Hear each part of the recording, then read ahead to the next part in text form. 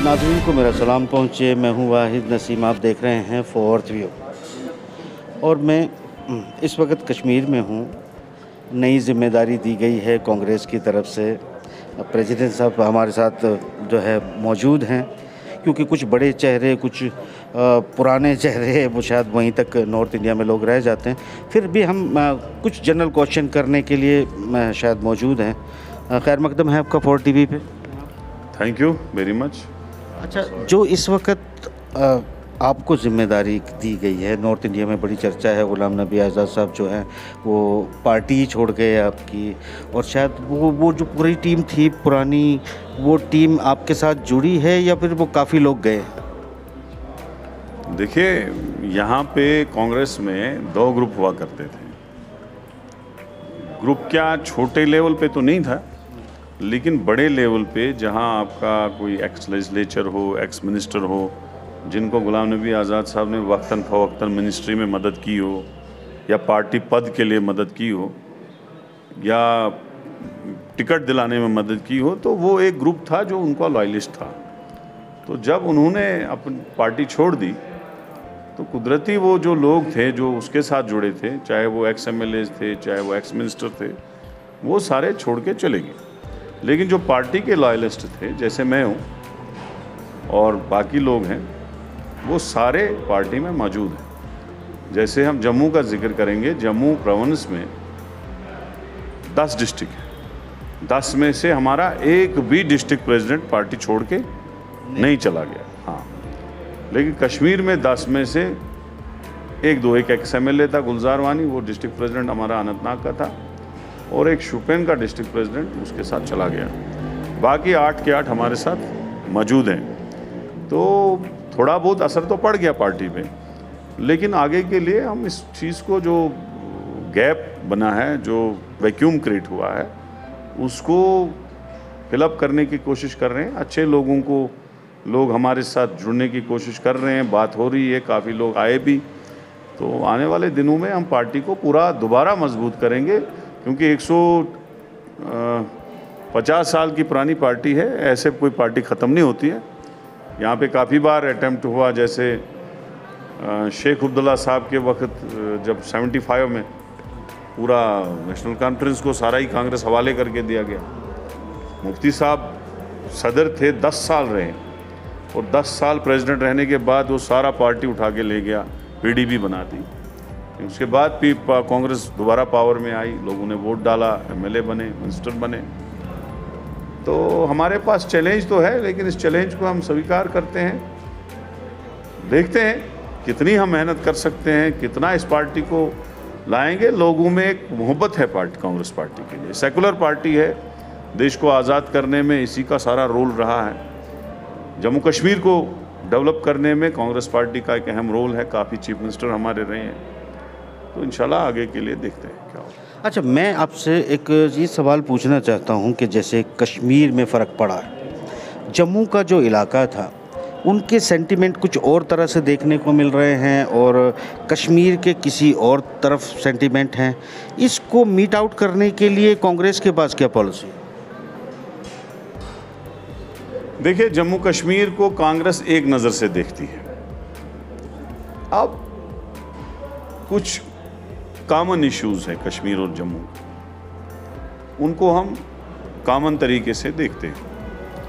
लेकिन जहाँ अलग अलग इश्यूज़ हैं, वहाँ हम अलग अलग उनको डील करते हैं। मतलब जम्मू का जो मसला होगा, वो जम्मू वालों का, हम बराबर क्योंकि जम्मू ने हमें हमेशा साथ दिया और जम्मू के इश्यूज़ हमने हमेशा सेटल किए। कांग्रेस के टाइम में जितने भी डायरेक्टरेट्स थे, वो डायरेक्टरेट्स एक ही होता था। और उसका सेंटर मरकज़ होता था कश्मीर में। अब जाके कांग्रेस ने जब कांग्रेस आई 2002 में तो सारे डायरेक्टरेट्स जो हैं वो सारे तकसीम किए कांग्रेस ने। जम्मू का? हाँ जम्मू। इसी तरह से सेंट्रल यूनिवर्सिटी आई एक जम्मू में बनाई एक कश्मीर में बनाई। इसी तरीके से जो भी काम था जैसे डिस्ट्रिक्ट बनाने थे तो डिस्ट्रिक्ट चार जम्मू में बने चार कश्मीर में बने। तो ऐसा नहीं है। आप कोई ऐसा इशू हो जाता है, मुझे नहीं लगता है ऐसा कोई इशू है। जो जम्मू वालों को प्रॉब्लम होती है, आप कोई फंड्स की प्रॉब्लम हो, दूसरी चीज़ें हो तो कोशिश की कांग्रेस सरकार में पहले सेवेंटी फाइव परसेंट जो फंड्स हैं, वो एक ही रीजन में लग जाता था, लेकिन कांग्रेस में इसका डिवीज़न लगभग लगभग बराबर हुआ। मिनिस्ट्रीज बराबर बराबर तकसीम हुई। कांग्रेस ने ही जम्मू डिवीज़न को चीफ मिनिस्टर दिया, जब आज़ाद साहब बने। तो ऐसा नहीं है कि हम दोनों एरियाज़ को जो है एक ही नज़र से देखें। जो खास तौर से भारतीय जनता पार्टी समर्थित हैं या भारतीय जनता पार्टी ये कोशिश कर रही है कि वो किसी भी कीमत पे इस बार जम्मू कश्मीर में सरकार बनाए। तो वो जो सेंटीमेंट उधर है वो उस साइड में कांग्रेस उधर भी है इधर भी है तो उसको उसको कोई कोई प्लान है कांग्रेस का आपका? भारतीय जनता पार्टी की कोशिश रहती है कि वो कश्मीर और जम्मू का डिवीज़न करे, जम्मू को सेंटीमेंट्स जो उनको उजागर करे। देखिए, जहाँ अभी स्टेट को यूटी बनाने की बात है, मुझे बताओ हिंदुस्तान में कोई आदमी, कोई बंदा किसी भी स्टेट का हो, वो अपनी स्टेट को यूटी बनाने के लिए वोट देगा, उसको एलो करेगा। तो जम्मू वालों को बताया गया कि हमने जी जो आतंकवाद है, जो वो है, हमने नेशनल इंटरेस्ट में किया, वो किया तो थोड़ा सा घुमा घुमा के उनको बेवकूफ़ बनाने की कोशिश की। तो उसके लिए यूज़ किया मतलब वो चुप रहे इस मामले में जब यूटी बनी। तो इसी तरह से अभी वोटर का इश्यूज़ है। पच्चीस लाख जो चीफ इलेक्टोरियल जो चीफ इलेक्टोरियल ऑफिसर है जे के का कमीशन है, कमिश्नर जो है, उसने कहा कि हम 20 से 25 लाख वोटर जो हैं, जो टेम्परेरी रिजाइड करते हैं या जो ऑर्डिनरी रेजिडेंट है यहाँ के, उनको इंक्लूड करेंगे। तो हमने कहा, कांग्रेस ने कहा कि भैया, हम चाहते हैं, चाहे वो बटमालू कॉन्स्टिट्यूंसी का हो, या जम्मू ईस्ट का हो, या जम्मू वेस्ट का हो, हम चाहते हैं कि जम्मू की जो कॉन्स्टिट्यूंसी असेंबली की हो, या कश्मीर की कॉन्स्टिट्यूंसी असेंबली हो, वहाँ उधर के लोगों को एमएलए बनाने का हक मिलना चाहिए। न कि वो बाहर का आदमी जो टेम्परेरी आया होगा उसको क्या यहाँ का लेना देना?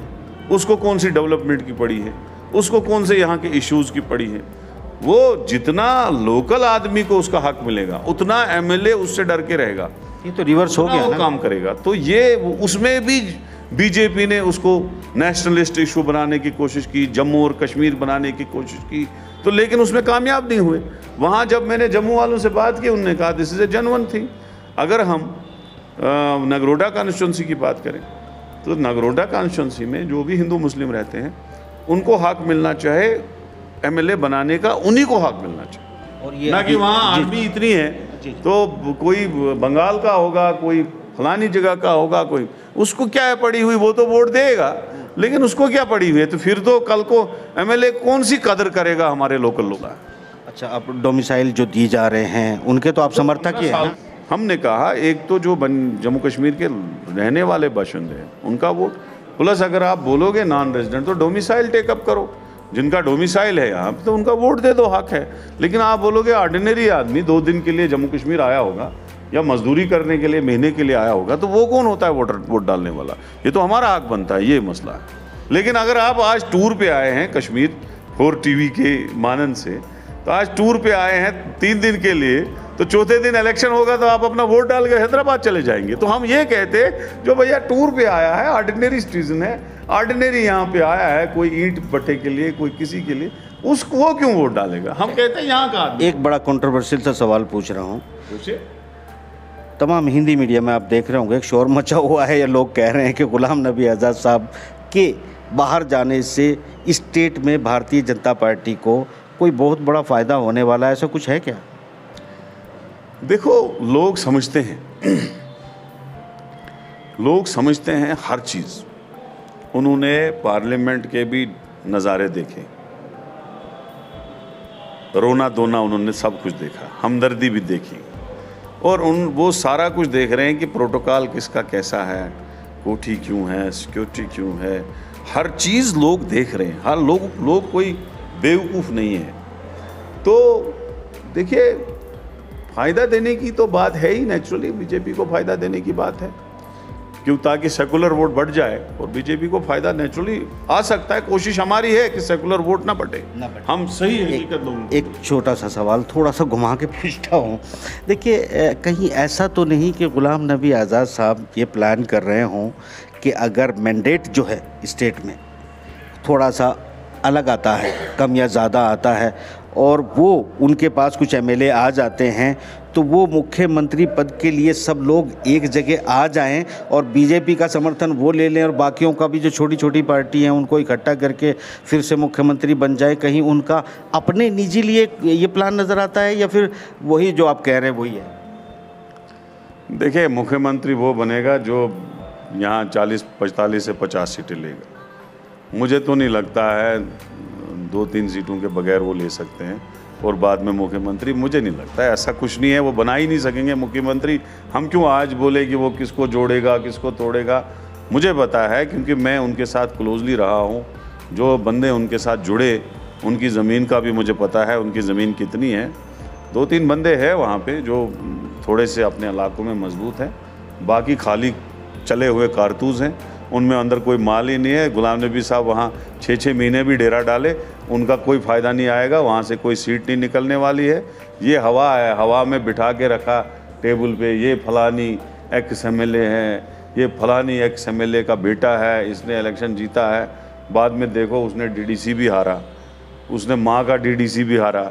तो आप बोलोगे, जनाब, ये जीतेगा? ऐसा कुछ नहीं है, मुझे नहीं लगता दो तीन लोगों के बगैर उसके पास मज़बूत लोग हैं। ओवरऑल जो पैंतालीस सीटें लेगा या तीस सीटें लेगा कोलेशन करेगा या ज़्यादा लेगा, मुझे नहीं लगता है। ऐसा कुछ है। ये मुझे लगता है सबसे बड़ा पॉलिटिकल ब्लंडर था उसने जो कांग्रेस पार्टी छोड़ी, जिस कांग्रेस पार्टी ने उसको इतना कुछ दिया। देखिए मेरे ख्याल से तो सभी लोगों को जो सेकुलर जहन के लोग हैं, वो इस तरह का स्टेट में भी सवाल उठा रहे हैं।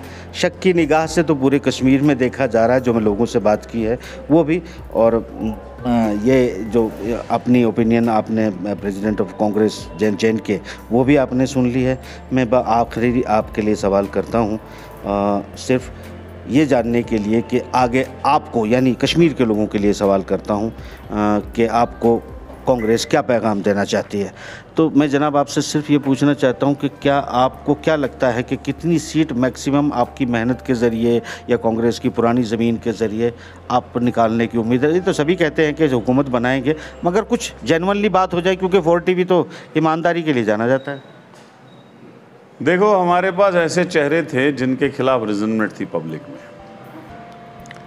वो क्या बोलते हैं? इनकम्बेंसी फैक्टर एक आदमी जब तीस साल, चालीस साल एक ही जगह बैठा रहेगा, चाहे वो जीते, हारे, उधर ही बैठा है।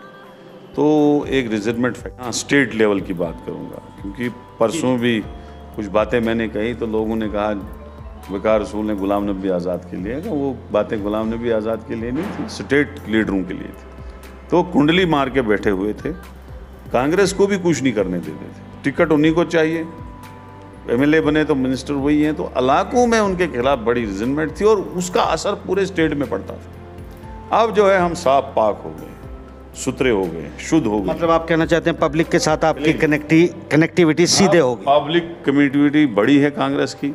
वो मैं जानूँगा कि कहाँ कहाँ से ऑफ़र आ रहे हैं हमें। इंशाल्लाह और रहमान थोड़ा टाइम लगेगा। मुझे लग रहा है मुझे लग रहा है अगर ऐसा ही सिस्टम रहा तो कहीं ना कहीं कांग्रेस जो है बाकी मैं नहीं बोलूँगा कितनी सीटें लेंगे। बाकी जो पार्टियाँ हैं उनसे एक दो सीट ज़्यादा ही लेंगे। थैंक यू वेरी देखिए, अब मैं आखिरी लफ्ज़ों में ये कहना चाहता हूँ कि जो कांग्रेस की यहाँ से भी, कश्मीर से भी वो शिकायत आई है, जो पूरी इंडिया में कांग्रेस की जो नेशनल लीडरशिप है, उसके साथ जो कुछ किया जा रहा है, वो आप जानते हैं कि वो किस तरह की बातें हैं कि कांग्रेस में एक कॉरपोरेट कल्चर है, लोगों के साथ कनेक्टिविटी नहीं है। वही कनेक्टिविटी की बात जो है, यहाँ भी हो रही है, मगर यहाँ ये कहा कि पिछले 40 साल से जो जहाँ था वो छूटा है खाली जगह बनी है और अब ये वक्त शायद आ गया है कि अब लोगों के साथ पब्लिक के साथ कनेक्टिविटी बनेगी। कांग्रेस कितना कर पाएगी कितना नहीं कर पाएगी आप लोग जानते हैं। अ, हम तो आपको कोशिश कर रहे हैं ये बताने की कि आपका हर लीडर चाहे वो किसी भी पार्टी का हो आपके लिए क्या सोचता है और आपके लिए क्या पैगाम रखता है। इस प्रोग्राम में इतना ही। खुदा हाफ़िज़।